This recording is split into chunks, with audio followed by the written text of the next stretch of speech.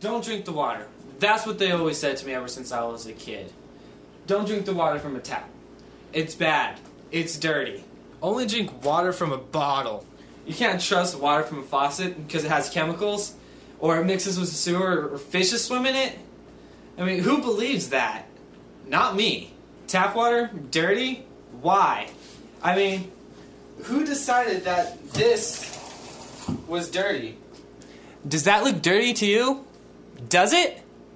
I went on vacation to my uncle's house last summer. You want to know what they do in his town when they get thirsty? They go to the cupboard, get a glass, and get water from the faucet.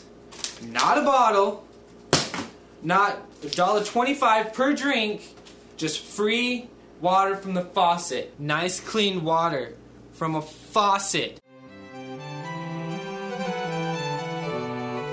I'm not afraid to drink this water. There's nothing to be scared of. It's just like any other water, and it's clean. Think about it. We take showers and baths in this water, don't we? We water our grass, our flowers, and our trees with this water. They would all die if the water was disease or sewage tainted, wouldn't they? I can drink this right now if I wanted to. I'm not fooled by all the junk people say about tap water.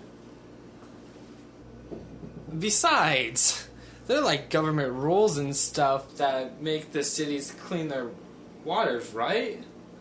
It's not like the government would let the water be dirty and nasty. I mean, they must be required to put bleach, or chlorine, or something in it to kill the germs. It's not like gutter water is going into our faucets. They could have a pipe that runs from the river to our faucets. The river's clean. Well, I peed in the river once, but that was once, and I'm sure that no one else has peed in the river before, right? And even if they did, the water would have to be clean before it gets to our homes, I mean, it's not like a piece of poo could be floating in my water. right? what am I talking about?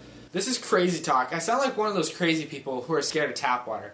I mean, tap water is safe, safer than bottled water, even. I won't be controlled by these silly superstitions. I want good free water now. And I'm gonna have what I want.